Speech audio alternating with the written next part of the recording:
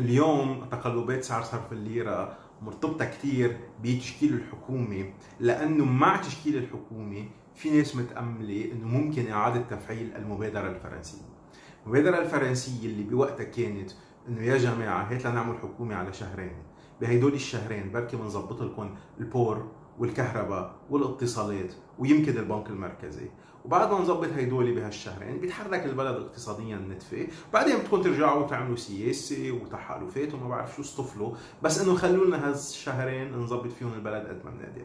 وبالتالي لو صدقت المبادره الفرنسية أو لو تحققت المبادره الفرنسية كانت إجت شركه إجت شركة ألمانية ظبطت لنا الكهرباء اللي هي على الأرجح سيمنز وكانت إجت شركه إجت شركة فرنسية ظبطت ال port اللي هي على الأرجح CMA CGM وإلى آخره.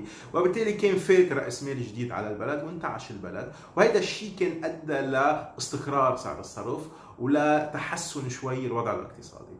آه، وبالتالي وقت كان الشعب اللبناني موعود بالمبادرة الفرنسية كانت الليرة عم تتداول بسعر 7000 تقريبا. وتحسوا انه المبادرة الفرنسية طارت طلعت الليرة. وهلأ وقت رجع الرئيس الحريري وعم بيقول إنه ماكرون وإنه خلونا نعمل حكومة وأنا ملتزم بالمبادرة الفرنسية رجع آه، نزل سعر الصرف شوي. وبالتالي اليوم تقلبات سعر الصرف كثير عم تكون مرتبطة على المدى القصير هلأ على المدى المنظور. بتشكيل الحكومة والالتزام الفرنسي تجاه لبنان إنه خيي رح يساعدونا. يمكن يجيبوا لنا صندوق النقد يساعدنا كمان. إذا الفرنسيين بيضغطوا عليه غير ما نحن نجرب نتفاوض معه. يمكن بكرة بيفتحوا لنا سادر كمان ما حدا بيعرف لوين بنوصل. وبالتالي كل هالآمال مع بعضها بتخلي إنه الناس ترتاح بس تحس إنه قربت المبادرة الفرنسية إنها إنها تصير. وبالتالي ما بتعود بحاجة إنها تضب دولار آه، خايفة للأيام الصعبة.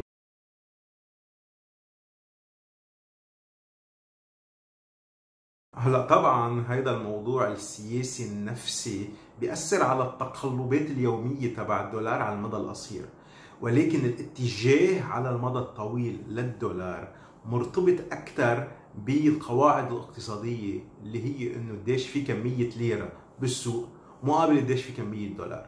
وبالتالي كل ما نحن بلبنان نجي ونضخ ليرة أكثر بالسوق كل ما بالاخر بمكان ما الناس بدها ترجع تحولها للدولار لأنه بدها تشتري فيها بضاعة وهي البضاعة نحن بنستوردها من برا ما هيك؟ وبالتالي بدنا ندفع حقها بالدولار.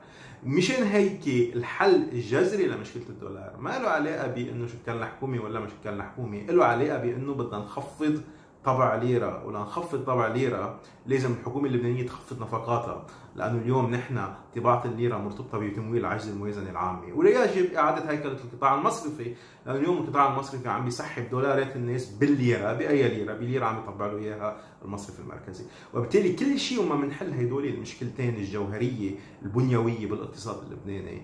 رح يضل الاتجاه العام طويل الأمد تبع الدولار هو تصاعدي.